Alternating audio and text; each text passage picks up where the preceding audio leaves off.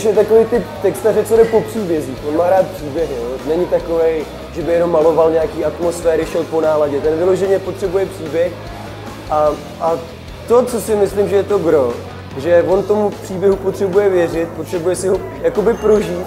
Já chci být volnej, chci být volnej. Tohle je úplně nejvíc komunál, co kdy byl.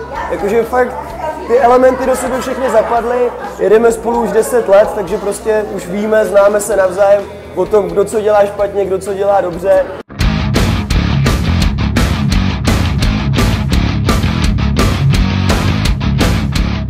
To byl porod, největší porod, na téhle sonce jsem vykrvácel, ty, protože mi na ní hrozně záleželo i z toho důvodu, že jsem věděl, že jak budou lidi vědět, že tam zpívá Honza, tak si to budou chtít poslechnout i to.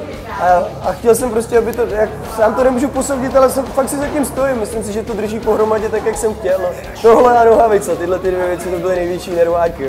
Viděl jsem podél cest, ale je plné hesel, k nebi. Proč nohavice? To byl Lubošův nápad.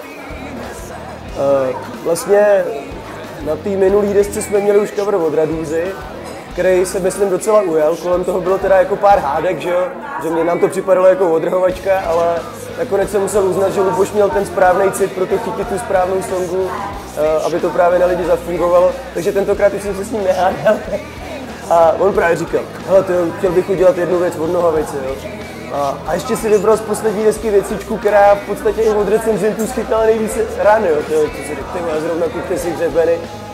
A pak jsem si to poslech, začal jsem nad tím přemýšlet a říkám si, ale jo, tyjo, když se zamyslím nad tím textem, jo, tak ten v podstatě i sedí, že to z Lubošovi půjde z huby a bude to uvěřitelný. Nedostal si nic z toho, co si chtěl, ale život tak kurva ti dal, co si nejvíc potřeboval.